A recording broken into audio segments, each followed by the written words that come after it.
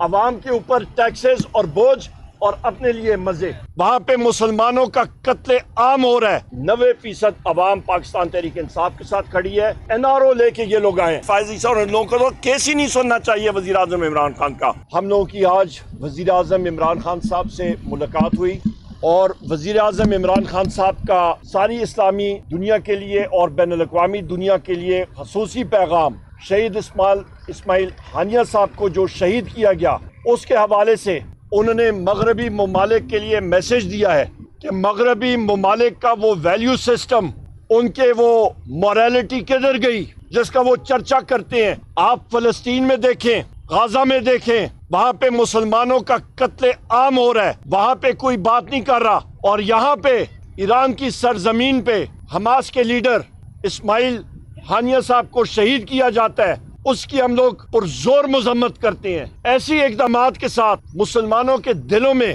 غم و غصہ بڑھتا ہے کہ جہاں پہ انصاف نہ ہو، جہاں پہ بین الاقوامی دنیا میں عدل نہ ہو۔ اور یہی وجہ ہے کہ اسرائیل آج وہ ہر قدم غلط اٹھاتا ہے اور اس کو روک ٹوک کرنے والا کوئی نہیں۔ مغربی ممالک کو چاہیے کہ وہ فل فور فلسطین میں امن کے لیے کام کام کریں اور سارے ممالک مل کے فلسطینیوں کے لیے امن یقینی بنائے۔ اس کے ساتھ ساتھ وزیر اعظم عمران خان صاحب کا خصوصی پیغام پانچ اگست دو ہزار چوبیس بمقام ثوابی اور ٹائم چار بجے خان کی پکار، عوام کی للکار، جتنے پاکستانی ہمارے عمران خان صاحب کے چاہنے والے ہیں، امنڈ کے پہنچے وہاں پہ۔ آپ نے اپنی لیڈر کے خاطر وہاں پہ دنیا کو ثابت کرنا ہے کہ پاکستان تحریک انصاف پاکستان کی سب سے بڑی مقبول ترین پارٹی ہے۔ اور یہ آپ نے اپنے لیڈر وزیر اعظم عمران خان صاحب کے ساتھ محبت کا اصلی ثبوت آپ نے دینا ہے انشاءاللہ۔ وہاں پہ ہمارے میزبانان میں وزیر اعلیٰ خیبر پختونخوا علی امین خان صاحب ہوں گے۔ یہاں پہ میرے بائیں طرف اسپیکر قومی اسمبلی اسد کیسر صاحب، میرے دائیں طرف عاطف خان صاحب شارام خان صاحب، علی محمد خان صاحب، یہ ہمارے انشاءاللہ تعالی وہاں پہ میزبانان ہوں گے اور بھرپور جلسہ ہوگا ہمارا۔ بہت شکریہ جی۔ اور ابھی جس طرح تو ہم ہم لوگ ایک تحریک تحفظ آئین پاکستان ہمارا اتحاد ہے اس کے حوالے سے انشاءاللہ تعالیٰ ان کے ساتھ ضرور بات چیت ہوگی۔ کیوں نہیں؟ موقف ان کا بالکل درست ہے آج بھی وزیر اعظم صاحب نے کہا ہے۔ اور ہمارا موقف ہمارا سٹینڈ سارے الائنس کے ممبرز کا جماعت اسلامی کا یہی ہے۔ واضح طور پہ بتا دوں بجلی کے نرخوں میں جو اضافہ ہو رہا ہے یہ اس وقت پیپلز پارٹی اور بالخصوص مسلم لیگ نون نے جو پاور پلانٹس لگائے ہیں یہ کیپیسٹی پیمنٹس مہنگے داموں لگے ہیں۔ غلط لگے ہیں ان کی غلطی ہے۔ مہنگا اور اور مسئلہ پھر وہیں پہ بات آئیں گے کہ آصف علی زرداری کو دیکھیں کہ آپ کا اٹھاسی کروڑ روپیہ پریزیڈنٹ ہاؤس کا خرچہ بڑھ گیا ہے۔ آپ کا شہباز شریف کے وزیر اعظم ہاؤس کا دیکھیں۔ اور آپ ان کے فورن ٹرپس کا دیکھیں۔ وزیر اعظم عمران خان صاحب نے خرچے کم کیے تھے۔ یہاں پہ ابھی یہ پھر بڑھا رہے ہیں۔ عوام کے اوپر ٹیکسز اور بوجھ اور اپنے لیے مزے، یہ فرق ہوتا ہے۔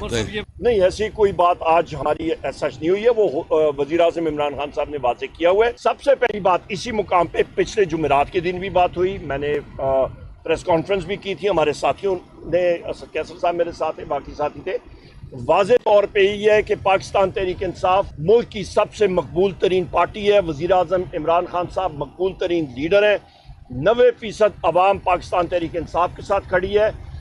فوج عوام میں سے ہوتی ہے۔ فوجی ماؤ سیٹوں کا میں پھر ریپیٹ کرتا ہوں، اس نے انگریزی میں کہا what is the army the army is in people in uniform یعنی کہ فوج کیا ہے؟ آپ عوام کو وردی پہنا دیں تو وہ آپ کی فوج ہے۔ تو لہٰذا فوج کے درمیان اور عوام کے درمیان مسلم لیگ نون، یہ لوگ اپنا فاصلہ بڑھا رہے ہیں۔ وجہ کیونکہ انہوں نے، ان کے مقاصد جو ہیں وہ کرپشن ہے انہوں نے اپنے کرپ این آر او لے کے یہ لوگ آئے ہیں۔ نواز شریف کو دیکھیں، جب تک جسٹس بنجال تھے، وہ ملک میں واپس نہیں آیا۔ جس وقت چینج چیف جسٹس چینج ہوئے، قاضی فیض عیسیٰ آئے تو وہ ملک میں آئے، این آر او لے کے آئے نا، اپنے کیسز ختم کر کے آئے، یہ فرق ہے۔ دیکھیں جی یہ بڑا آسان ہے، یہاں پہ آپ لوگ کھڑے ہیں، یہ ڈیالہ جیل کی دیواریں ہیں۔ یا تو آپ کہیں کہ جی لوگ راکٹ لانچر لے کے تو یہاں پہ حلہ بولیں، جیل پہ نکال کے لے جائیں، وہ تو دوسری بات ہے۔ قانونی طور پہ اس وقت آپ سی جے اسلام آباد ہائی کورٹ عامر فاروق ہو گئے۔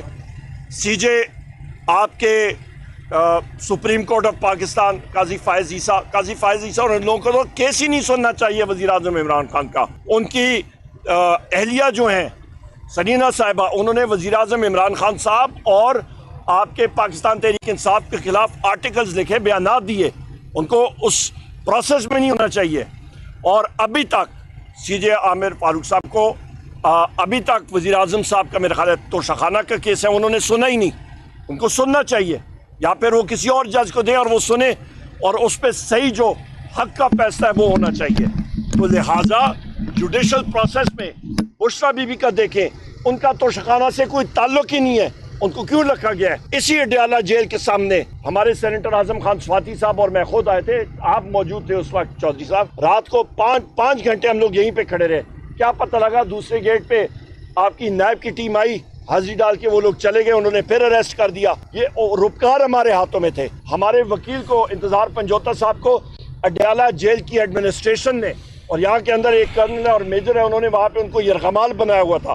یہ کوئی انسانیت ہے؟ تو لہٰذا جسٹس سسٹم کو، ان کو یہ چاہیے کہ صحیح قسم کا جسٹس کریں۔ ابھی ہمارے جو ساتھی ہیں اڈیالہ جیل میں اور باقی جگہوں میں ان کو رکھا ہوا ہے۔ ابھی بھی فیصلہ محفوظ ہوا ہے۔ ہمارے سوشل میڈیا ٹیم کے لوگ ہیں۔